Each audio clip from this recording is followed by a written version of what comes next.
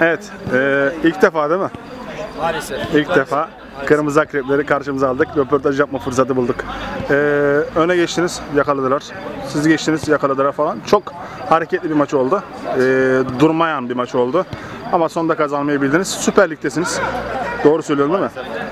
Ayaklarınıza sağlık. Devam etmeye e, hakkınız var zaten. Devam edeceksiniz. Önce Fatih senden başlayalım.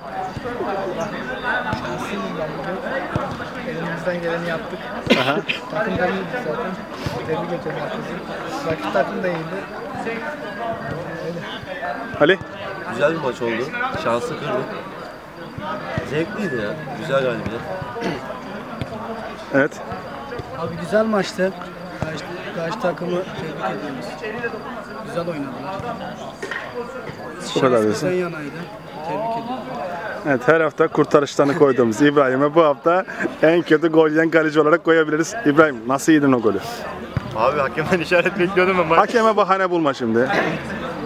yedik abi yani bir sıkıntı olmaz golü yedik golü. Yine şanssızlık diyebilirim bu maç için. 4-5 tane direkten dönen toplarımız vardı. Evet. Ama en sonunda bir röportaj yapma şansı seni karşımıza alarak bulduk abi. İnşallah bundan sonra İnşallah, inşallah. olacağız abi. Ertuğrul, Abi eee, biz ilk defa katıldık bu turnuvaya. Daha uzun yıllar renk verdiniz. Özellikle Tuncay İtman Yurdu karşısında oynadığınız futbol hala aklımda. O maçı her yerde konuşacağım. Yani, kadro sürekli kadro değişikliğinden dolayı eee, sıkıntılar oldu pek. Artık Süper Lig'de tam bir 8'lik kadro tutacağız. Eee, fazla eksik çıkış yapmayacağız.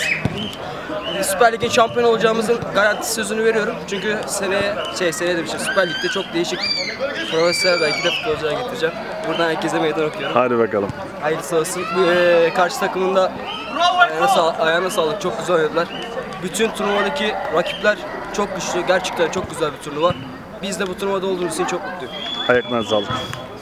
Sağ olun.